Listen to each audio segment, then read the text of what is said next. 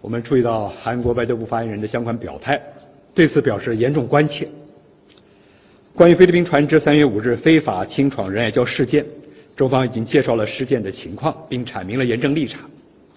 我愿再次强调，事情的起因在于菲方违背承诺，侵犯中国领土主权和海洋权益。中方依法采取必要管制措施，操作专业、克制、合理、合法。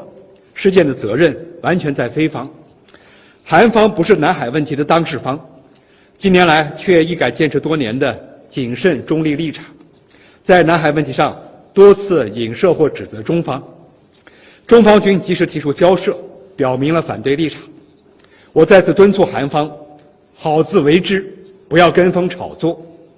避免给中韩关系增加不必要的负担。